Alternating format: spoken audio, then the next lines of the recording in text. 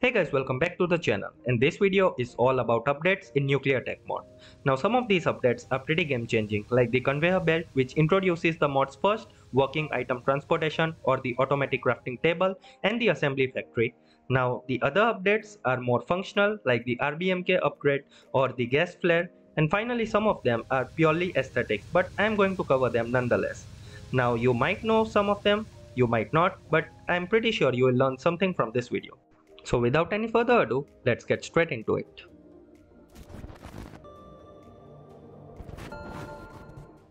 Let's start with everyone's favorite which is the RBMK reactor. There are two new blocks called the RBMK fluid heater and the heat exchanger. For my setup here, I have a moderated fuel rod surrounded by two reflectors and one RBMK cooler in order to control the temperature of the entire reactor. Now the RBMK fluid heater is like any other RBMK column, it looks something like this and it also has an internal GUI. So right now it will accept coolant and it will be processed into hot coolant. Now instead of using coolant you can also use mug root beer but I prefer using coolant because it can be produced easily and in indefinite amounts. Now also by using this you will also need to use the RBMK heat exchanger in order to input the coolant and get the hot coolant out. So connect the coolant pipes like this and with this the fluid heater will be full of coolant and now we need to get the hot coolant out of here so get a pipe from the top and loop it back inside into the heat exchanger. So now we have a loop of coolant going in and hot coolant coming out back into the heat exchanger. Pretty cool. Now in order to make steam itself, we are going to need to put some water in the heat exchanger. So connect some water pipes and for the output connect super dense steam pipes. This setup can only produce super dense steam. No other type of steam can be produced. So now that the entire setup is done, we are going to test it and I'm going to use medium enriched uranium for this purpose. So now all we need to do is wait for the temperature to hit 600 degrees Celsius.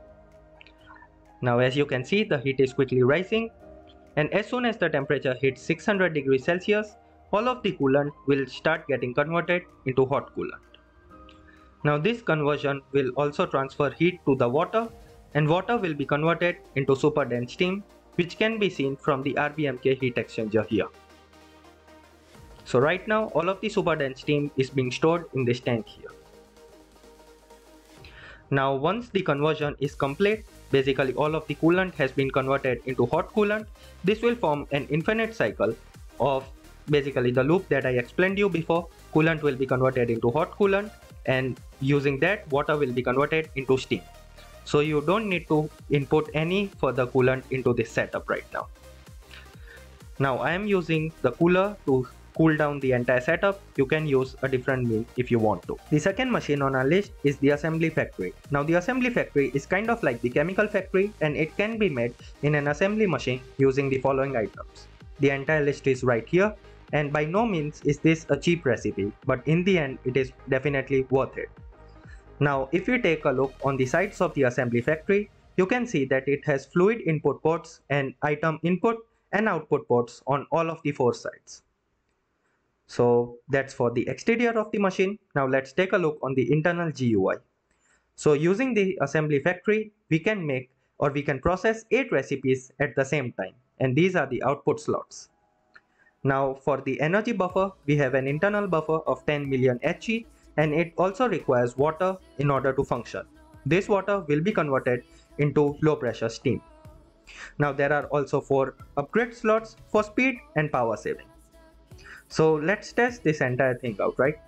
So for our first recipe, we are going to go with the superconducting magnet. And for the second recipe, we are going to use the control rods. Now I am placing these in the first and the third slot. Now if we just place the required materials, you will see that the first recipe will start processing and the machine will have a very cool animation like this. And here we have or basically produced a superconducting magnet. Let's do the same for 3. Place in all of the items and that will start making the control rods. Now all of these items will be stored inside the factory as long as it doesn't have an output. Now for the output, you can use any storage inventory. I am going to use a crate and all of the output items will be directly or outputted into it. And same goes for the input. If I placed all of the raw materials in the input crate, the machine would accept them. Now you can connect the fluid pipes in order to input water and also output the low pressure steam.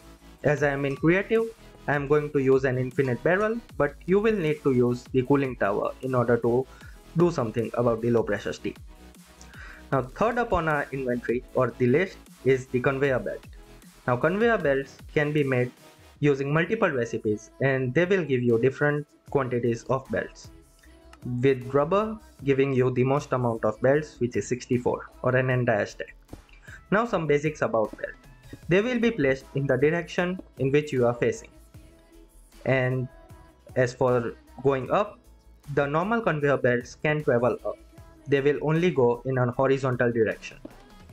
Now belts can go into each other. So for example, if you want to change the direction of an item, you can do that by making a belt go into the other belt. So right now, this item will continuously loop around on this conveyor setup. Now another cool thing is that the item will be rendered but it will have no collision. So you can stand on the belt and the item will pass right through you.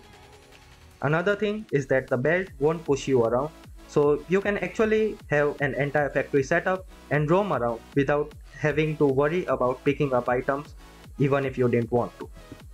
Then there are two other type of belts which is the double lane conveyor belt. They can basically convey or have two different type of items travel at the same time. And then there is the triple lane conveyor belt which can have three different type of items traveling at the same time or three items traveling in different lane at the same time. Next up we have the conveyor inserters and the extractors. Now the inserter will insert any item into a storage inventory which is placed directly in front of it. So if I drop an item on the conveyor belt right now, it will be deposited into the crate. Now the inserter also has its own input inventory or basically a small buffer of inventory for when the crate is full. Now the extractor or the conveyor ejector, it is a bit more complicated as it has whitelist and blacklist. So the conveyor extractor won't eject any item as long as it is not whitelisted. So right now in the crate I have an iron crate but it won't be ejected. But as soon as I whitelist this item it will be ejected. So that is how this works and if an item is not whitelisted it won't be ejected. For the upgrades we have the stack ejection upgrade which will allow us to extract an entire stack at the same time so right now as I have placed an entire stack in here you will see that whole stack will be ejected and then there is the speed upgrade. Next up we have the conveyor chutes which will allow for uninterrupted transmission of items you won't be able to hinder it and then we have the vertical conveyor belts which will allow you to basically make your items travel upwards. And also do remember that the conveyor inserters and the conveyor ejector can be redstone controlled. So yeah, they do accept redstone input and output.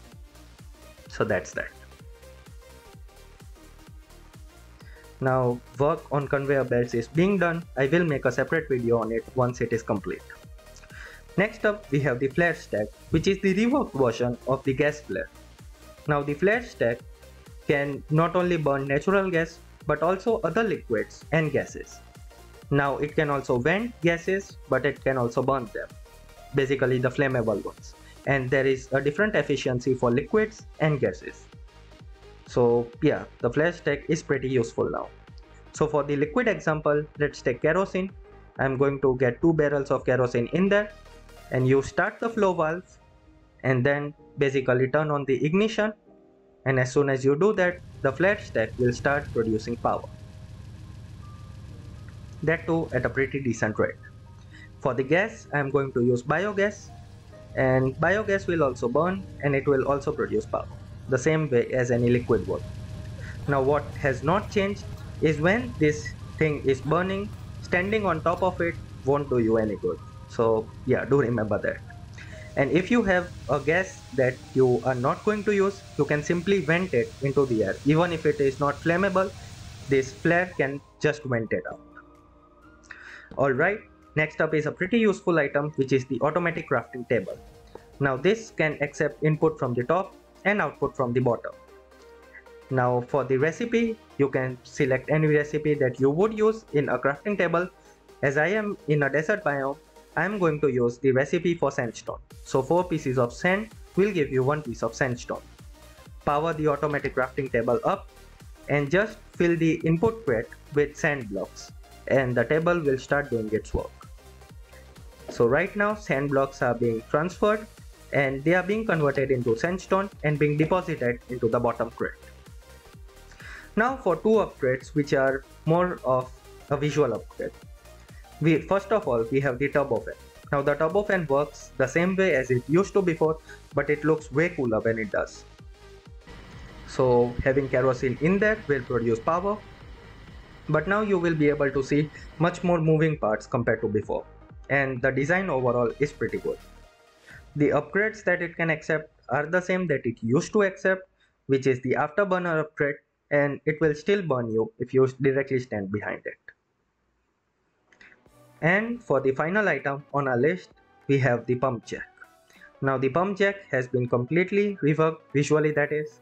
It looks way cooler than it used to and even the internal GUI has changed. So we have the inner buffer for power, there is the crude oil and natural gas and for the updates it can accept the speed, power and the uh, what do you call it the afterburner upgrade.